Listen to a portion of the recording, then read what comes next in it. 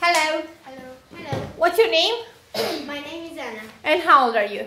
I'm nine years old. What's your name? My name is David. And how old are you? I'm ten years old. Okay, good. Thank you. Ana, tell me about your mom. What's your mom like? My mom is understanding, is happy, it's always very beautiful, and she's loving. Okay. Uh, David, what about what about your mom? My mom is loving, caring, uh, understanding, All, always she, uh, she loves me. I love him, and uh, is my uh, best mom. Okay, good. Ana, what about your uh, teacher, your primary school teacher? What's she like? My teacher is uh, smart, is uh, happy, and uh, she's beautiful. It's always beautiful. Uh, David, what about your brother? Tell me about your brother. My brother is strong, happy, beautiful, funny, understanding, caring, and she loves me so much. Excellent, thank you. Okay, let's read Janet's trip to London. Okay, Janet's trip to London. Tim was very happy to see Janet after she was back from her trip to London. He asked her many questions because he wanted to know so many things. Did you enjoy your trip to London? was the first question Tim asked. Yes, I enjoyed it a lot.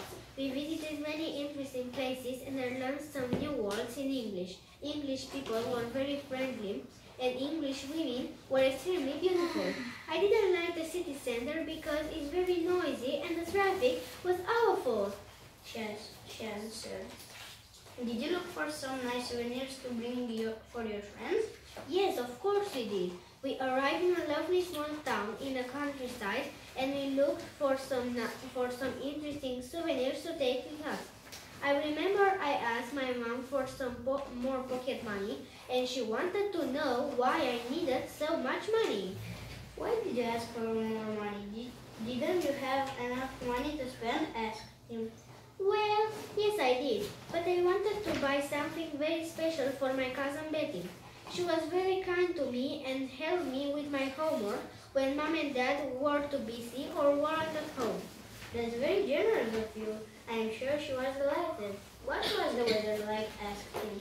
It was rainy and cold most of the time, but we didn't mind walking in the rain.